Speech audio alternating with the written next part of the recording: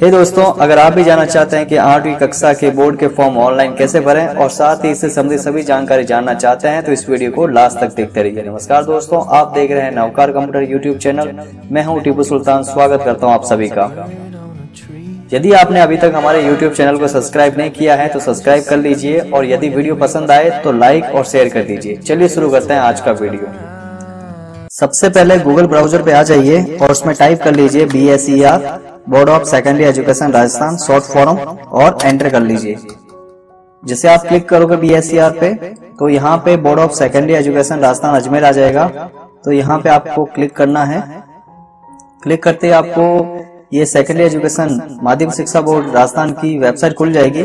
इसके अंदर आपको यहाँ नीचे मिलेगा online form filling portal for class eight इस पे क्लिक कर लेना है। तो ये आपको एक नई वेबसाइट पर ले जाएगा। उसके बाद में यहाँ पे आपको अपने स्कूल की लॉगिन आईडी और पासवर्ड दे देना है और उसको लॉगिन कर लेना है। लॉगिन करते ही आपको अपने स्कूल का प्रोफ़ाइल खुल जाएगा। मैंने यहाँ पे ऑलरेडी स्कूल की प्रोफ़ाइल भर दी है। अगर आपने प्रोफ़ाइल नहीं भरी हुई है तो यहाँ पे जैसे आप लॉगिन आईडी और पासवर्ड डालोगे, पहली बार कर रहे हो तो इसमें इस तरह से प्रोफ़ाइल खुल जाएगी। वो प्रोफ़ाइल पूरी भर लेनी है आपको। प्रोफ़ाइल बनने के बाद में उसको सेव कर लेना है।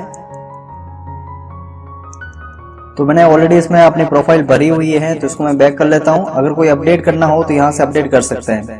फिर यहाँ पे लिखा हुआ है क्लास एट एग्जामिनेशन 2019 यहाँ पे क्लिक कर लीजिए। फिर यहाँ पे आपको मिलेगा फिल एग्जामिनेशन फॉर्म अगर आपको नया एट क्लास का फॉर्म भरना है तो यहाँ पे क्लिक करना है। उसके बाद में यहाँ पे स्टूडेंट का नाम आएगा। माता का नाम आएगा, पिता का नाम आएगा, और फिर जो आपने फ़ोटो और साइन स्कैन करके रखे हैं, वो यहाँ पे जोड़ेंगे और प्रोसीड पे क्लिक करेंगे। तो मैं ये जल्दी से कर लेता हूँ। आप भी इसको करके आगे बढ़ जाइए।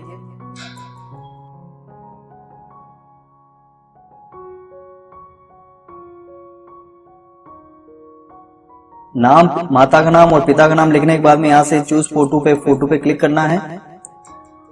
और आपके फ़ोटो जहाँ पर भी पड़े हैं, वो फ़ोटो जहाँ पे स्कैन किया आपने, जैसे मेरा ये पिक्चर्स में पड़ा है फोल्डर एट क्लास फ़ोटो और साइन इसको मैं डबल क्लिक करके ओपन कर लेता हूँ।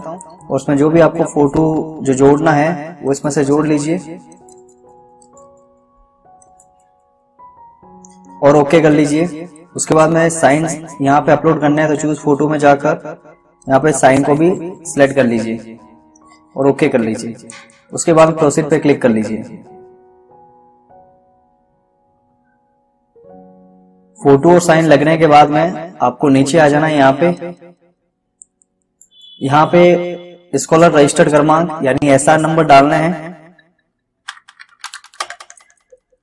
उसके बाद में यहाँ पे अगर सारा दर्पण की आईडी है आपके पास में बच्चे की तो वो यहाँ पे डालना है, वरना इसमें नाम इसमें आप ब्लैंक भी छोड़ सकते हो। अगर सला दर्पण या सला दर्शन की आईडी नहीं है आपके पास में तो उसको छोड़ सकते हैं। यहाँ पे एक नोट लिखा हुआ है, राजकीय विद्यालय सला दर्पण व निजी विद्यालय सला दर्शन पोर्टल पर देखकर पूर्ति करें। तो अगर आपके पास में सला दर्शन या सला दर्पण की आईडी नहीं है स्टूडेंट की तो यहाँ पे इसको ब्लैंक भी छोड़ सकते हैं। उसके बाद में यहाँ विद्यार्थी का नाम, माता का नाम, पिता का नाम चेक कर लीजिए। यहाँ पे जन्म तारीख डालनी है।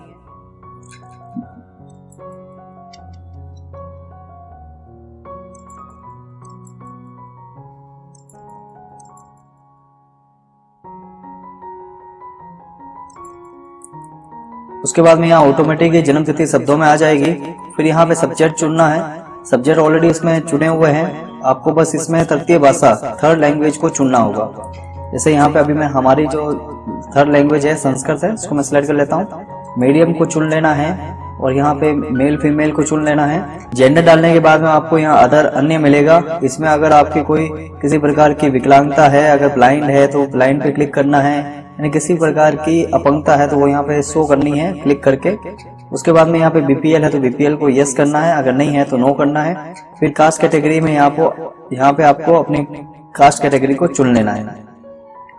उसके बाद में यहाँ पे एड्रेस पूछेगा तो एड्रेस टाइप कर लीजिए।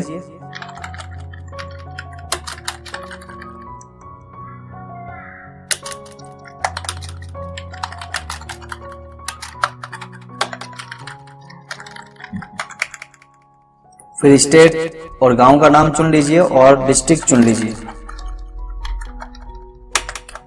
फिर पिन कोड नंबर चुन लीजिए। उसके बाद में स्टूडेंट के पेरेंट्स के या माता पिता के नंबर यहाँ से डाल दीजिए। पूरा फॉर्म भरने के बाद में लास्ट में इसको प्रोसीड कर लीजिए। प्रोसीड होते ही आपको यहाँ पे कैंडिडेट रिकॉर्ड सेव्ड का ऑप्शन आ जाएगा। और ओके कर लेना इसको। इस प्रकार हमने ये पूरा एक फॉर्म भर दिया है। अगर आपको इस फॉर्म को वापस से प्रिंट आउट निकालना है चेक करने के लिए चेकलिस्ट के रूप में तो यहाँ से आपको बैग जाना है। यहाँ पे आपको प्रिंट चेकलिस्ट ऑप्शन आएगा, उस पर क्लिक कर लेना है। और जो आपने लास्ट में फॉर्म भरा वो यहाँ पे आपको नाम दिखाई देगा। अगर आपको वो प्रिंट आउट निकालना है तो उसको प्रिंट आउट निकाल के चेक कर सकते हैं।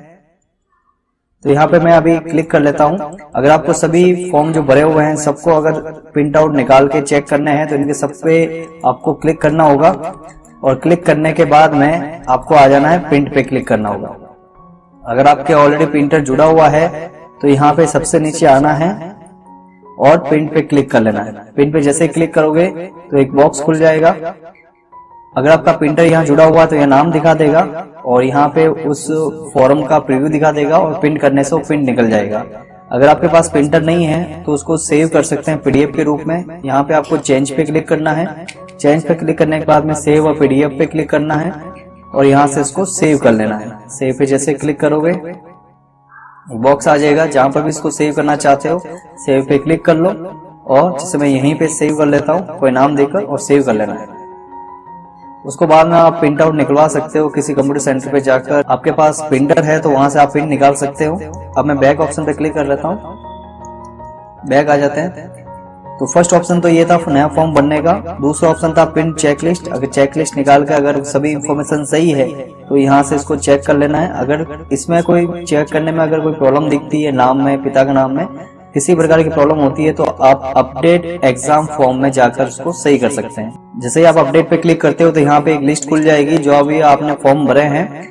यहाँ पे जिस फॉर्म में आपने गलती पाई है, उस फॉर्म को एक बार सो फॉर्म पे क्लिक कर लेना है। क्लिक करते वो फॉर्म खुल जाएगा और उसमें जिस किसी में भी अगर कोई प्रॉब्लम हो, अगर साला ऐसा नंबर में, नाम में, पिता पिता के नाम में किसी प्रकार की अगर समस्या हो तो उसको सुधार करके यहाँ पे इसको प्रोसीड कर लेना है। तो अभी मेरा ये सभी इन्फॉर्मेशन सही है तो मैं इसको बैक कर लेता हूँ। अगर कोई गलती होती है तो उसको सुधार करके प्रोसीड करना है। उसके बाद बैक कर लेता हूँ मैं। बैक करने के बाद वापिस से यहाँ पे आ जाएँगे और होम पे बैक पे क्लिक करेंगे। यहाँ पे अगर आपको फ़ोटो और साइन में कोई प्रॉब्लम है तो एक बार उस स्टूडेंट को यहाँ से डिलीट करना पड़ेगा। जैसे मैं यहाँ से इस ऑप्शन पे क्लिक करके इसको प्रोसीड करना पड़ेगा तो वो ऑटोमेटिकली जो नाम आपने सेलेक्ट किया है, वो डिलीट हो जाएगा। उसके बाद में उसको वापस से फिल एग्जामिनेशन फॉर्म पे क्लिक करके नया फॉर्म भरना पड़ेगा और उसके फ़ोटो और साइन अगर गलत है तो फ़ोटो और साइन करके डालकर उसको सही करना पड़ेगा। वापस इसके पिन लिस्ट निकाल के चेक कर लेना है। अगर कोई गलती नहीं है तो अपडेट करने की ज़रूरत नहीं पड़ेगी। अगर कोई प्रॉब्लम है तो उसको अपडेट एग्ज़ाम फॉर्म पे क्लिक करके सही कर लेना है। सभी स्कूल के सभी फॉर्म भरने के बाद में आप इन सभी फॉर्मों को लॉक कर सकते हो। लॉक कर, करने के बाद में ये जो भी आपने फॉर्म लॉक किए हैं उसमें किसी प्रकार का कोई भी चेंजेस नहीं होगा। इसलिए आप अच्छी तरह से पिन चेकलिस्ट करके फॉर्मों को चेक करना है उसके बाद ही लॉक करना है। फॉर्म लॉक करने के बाद में आपको यहाँ पिन टू फॉरवर्डिंग लिस्ट को पे क्लिक करके आ, उसके सबकी फॉरवर्डिंग लिस्ट निकाल देनी है। और उसके बाद में आ, जब आपका ये चालान वगैरह जमा हो जाता है बैंक में उसके बाद में प्रिंट अप्रूव कैंडिडेट फॉर्म की एक एक प्रति निकाल लेनी है। अगर आपको इस वीडियो में किसी प्रकार की प्रॉब्लम आती है कुछ चीज़ समझ में नहीं आई है तो आप नीचे दिए गए कमेंट बॉक्स में कमेंट करके हमें बता सकते हैं।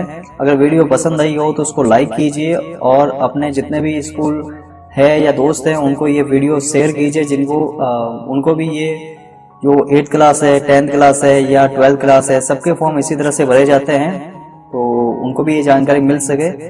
अगर आप इस चैनल पे नए हैं तो चैनल को सब्सक्राइब कर लीजिए और अगर आपने ये चैनल सब्सक्राइब कर लिया है तो नोटिफिकेशन बेल पे भी क्लिक करके इसको नोटिफाई कर लीजिए। वीडियो देखने के लिए आपका बहुत बहुत धन्यवाद।